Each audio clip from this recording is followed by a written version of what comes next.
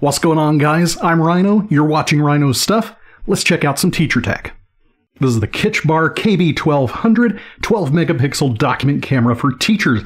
Records in 30 frames per second. It's got a built-in speaker, and this thing has a remote. We got packing foam, KB1200 user manual. We got a remote.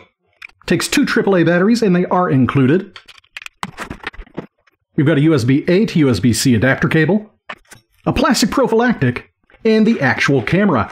You can see it folds up very nice and very small. And wow, that's actually got quite a bit of reach. What is that? That's at least 18 inches tall. Oh. That's like just the right height to use this as a webcam. Here on the base of the unit, we've got speaker and microphone controls. You can mute yourself, turn the volume down, and turn the volume up. On this side of the base, we've got two USB ports, so you can use two different devices while you're taking up one port on your computer. The cable is permanently attached to the back of the device. And on this side of the device, we got nothing. And right here, built-in speaker. Maybe make a conference call. On the top of the camera, we've got these buttons here. We've got our mirror button, we've got our ISO or brightness buttons, we've got autofocus, which is super handy, and we've got our pairing button for the remote. This little hole right here, that's to indicate if you're actually paired or not to the remote. And in case you're wondering about the built-in microphones, right here. Now I'm going to go ahead and get the KB1200 plugged in. I'm going to install some software. We're going to check out how it looks when you are recording directly from the device, and we're going to use it as a document camera, and I think we will go ahead and check it out as if we were using it as a conference camera. The video you're seeing right now is being recorded through OBS at the highest resolution settings. That would be 3840 by 3104. Let's change it to something a little bit more reasonable, although that's fairly decent. That's definitely more than 15 frames per second.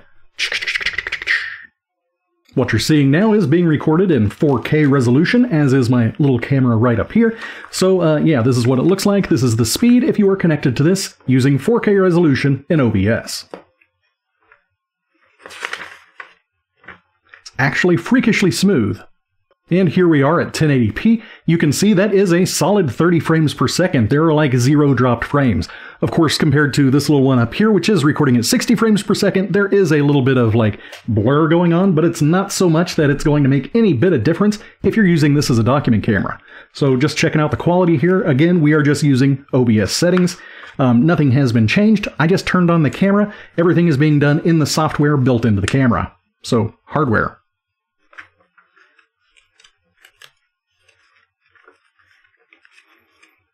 It looks really good. And of course, other than just reading the manual, you're probably going to be wanting to use a document camera for some writing on regular paper with an ink pen or something. So let's see what that experience is like. I like the uh, automatic white balance there. It does a pretty good job. It's pretty freaking fast.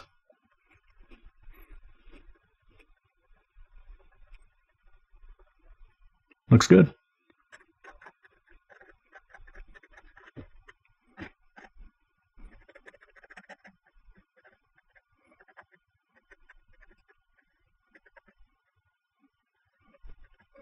Like it. I like it a lot.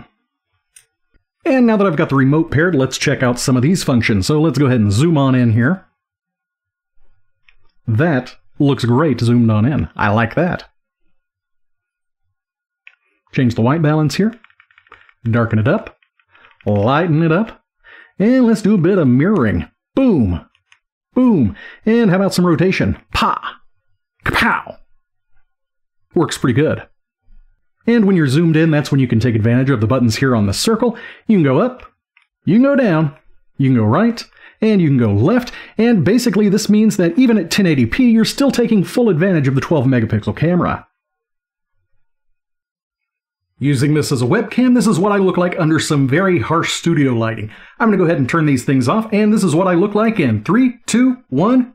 Now I've got my studio lights turned off. The only light going on in here is up here on my ceiling fan, and the tiny little ring light that's right here around the lens. This is what you can get default out of the box 1080p video camera right here. Now let's check out the audio. And the audio you're hearing now is coming directly from the KB1200 document camera from Kitchbai, and this is what it sounds like. I have no settings changed in OBS, except for a little bit of gain, so you guys are able to hear me, as the microphones are right down there on the table. So I did have to boost it up a little bit, but this is what I sound like. Now, aside from a little bit of lag and a little bit of echo, I am extremely shocked at just how good the dual microphones on here sound. Like, that's shockingly good for a document camera. I have never experienced a document camera with audio that sounds this good. You're literally hearing it right now. Listen to this. La la la la la la. Freaking awesome. Now, just for reference, this is what a $150 microphone sounds like compared to the dual microphones built into this. While there is a difference, um, it's still shockingly good that this sort of sound comes from those little microphones there. You know, even compared to a $150 mic. And here we are in the IPEVO Visualizer software. You can see I am still running 1080p. I am recording directly from that software. I'm also recording in OBS, so if there's any lag, it might be because I'm overtaxing my system, so I apologize for that. But yeah, um, it, it looks pretty decent. 1080p right here. I love the IPEVO software. Underneath my head, you guys can't see it, but it's like right if you were looking at the screen. Um, you can select your camera in it. You can change the resolution in it. Right now I'm at 1080p. Right here we've got some video filters. Those are a lot of fun. We've got black and white, inverted black and white, red on black. Ooh, spooky.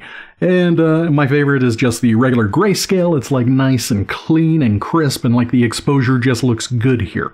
Um, go ahead and go to grid lines. You can have it up to 16 by 16. So if you were displaying this up on a smartboard or something, you would be able to trace those lines on your screen and just kind of help yourself out a little bit if you were doing a worksheet with your class.